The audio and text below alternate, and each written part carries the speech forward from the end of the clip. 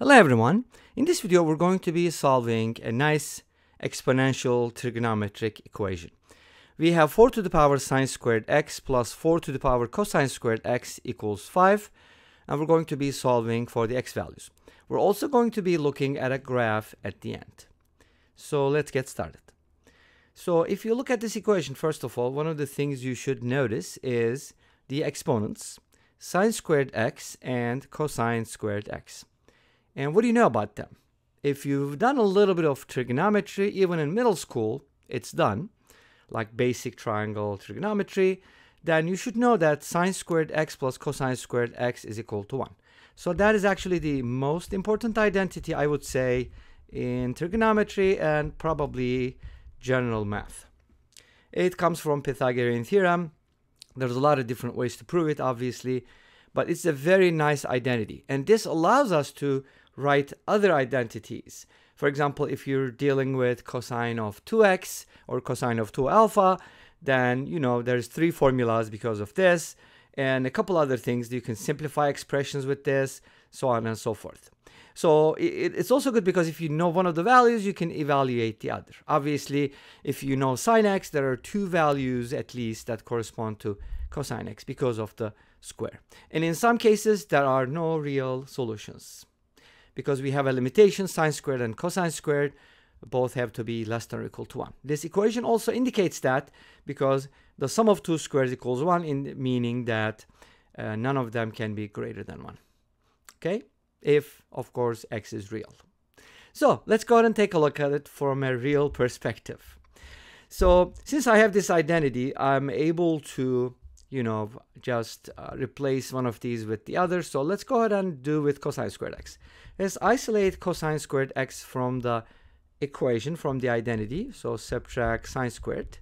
So you can write cosine squared as 1 minus sine squared. And then just substitute that. Okay, let's do it.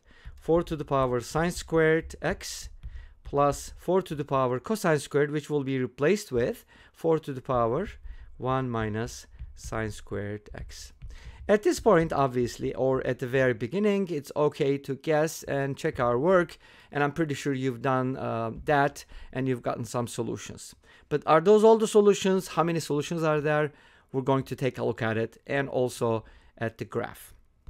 So now this equation is much better than the original one because we only have a single variable, namely sine squared x. Now what we're going to do next is using properties of exponents. We're going to write this difference of exponents as a quotient. So we're going to write it as 4 to the power sine squared x plus 4 to the power 1 divided by 4 to the power sine squared x. Because when you divide powers with the same base, you basically subtract the exponents. So we're kind of use uh, we're using that rule backwards, right? So a to the power m divided by a to the n is a to the power m minus n. And of course you can use it either way. So far so good. Now, we are going to do substitution. Obviously, substitution is going to be helpful. Let's go ahead and call this something. How about t? t is a good variable, right? It's also a good drink. t plus 4 over t equals 5. And again, you can definitely guess at this point because this is going to turn into a quadratic equation. Very easy to solve. Let's go ahead and multiply everything by t t not being 0 obviously. T squared plus 4 equals 5t and then t squared minus 5t plus 4 is equal to 0 great.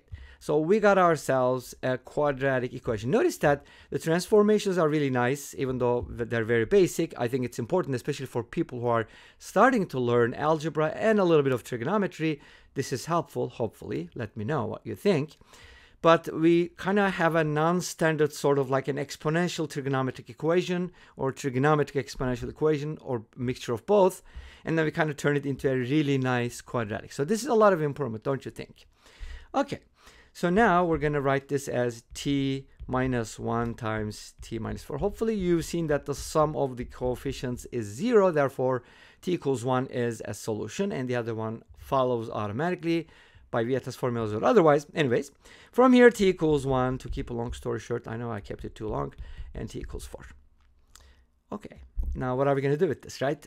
What is t? t is 4 to the power of sine squared. So that's the power of substitution. You take something complicated, well, at least t is simpler than that, and then turn it into something simple. And then you solve, and then you got to back substitute, right? Don't forget to do that. And always keep track of things. That's why I kind of circle, box, you know, take note on all these things. So if t is equal to 1, t is 4 to the power sine squared x. So let's go ahead and deal with this value first, and then we'll take care of t equals 4 later. Now, how can I interpret this? 4 to the power something equals 1. Obviously, the obvious way to do it is write the 1 as 4 to the power 0, right? Because any non-zero number to the power 0 equals 1, and it's even true for non-real numbers like i to the power 0. It's also 1, right? Well, in most cases. So, what do we do with this? Well, we have the bases that are equal, so naturally we should say sine squared equals 0.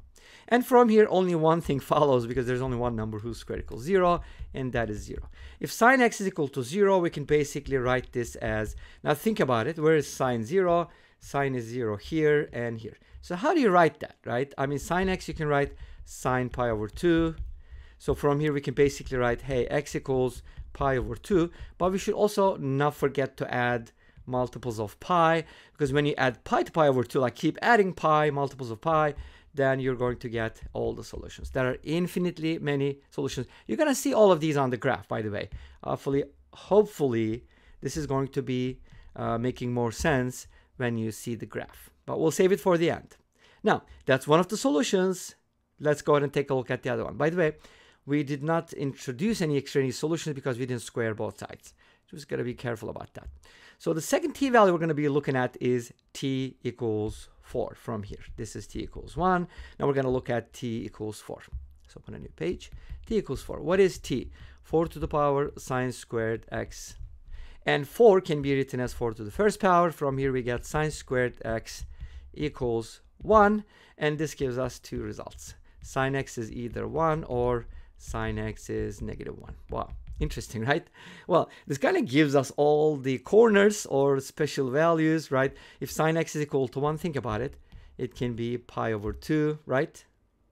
Because that's where it's 1 and, and nowhere else. So to this, we have to add multiples of what? 2 pi, right? So it's kind of like 2k pi. And then here, negative 1 means it's going to be here, which is 3 pi over 2 and then we're going to add again because you can't add multiples of pi because that's going to bring you well actually you could. So I believe uh, let's just write it this way and then you can think about it this way too but like the first one gave us what? The first one gave us uh, pi over 2 actually that's not correct because at pi over 2 it's equal to okay never mind I messed up on this one the first one okay we're gonna go back and fix this one is good but the first one wasn't good so I just realized that and I'm not gonna cut this part so you can see that I make mistakes. Yeah, well, that shouldn't be a surprise, right? I make a lot of mistakes. Anyways, sine x equals 0 gives us a sine of uh, 0. And then I should write 0 for this plus n pi, right? Let's see if that's to uh, work. Well, 0 is here. And then if you add multiples of pi to it, yes, you're going to hit 0 again. So this should be good. So 0 plus n pi and then these two can be basically represented by if you start at pi over 2 and just add uh, like k pi to it, like multiples of pi, you're going to be able to hit both this one and that one. So it's going to be good. Let's go ahead and take a look at the graph and we'll finish up with that. Here's the graph of y equals 4 to the power sine squared x plus 4 to the power cosine squared x. That intersects y equals 5 at several points, obviously infinitely many, two of which I showed here. 0 and pi over 2 and then you were going to have pi obviously and then the 3 pi over 2 because remember it was 0 plus multiples of pi and notice also that the minimum I mean the maximum you know what I mean right the maximum value for this function is 5 and you can also prove that and this brings us to the end of this video. Thank you for watching. I hope you enjoyed it. Please let me know. Don't forget to comment, like, and subscribe. I'll see you next time with another video. Until then, be safe, take care, and bye-bye.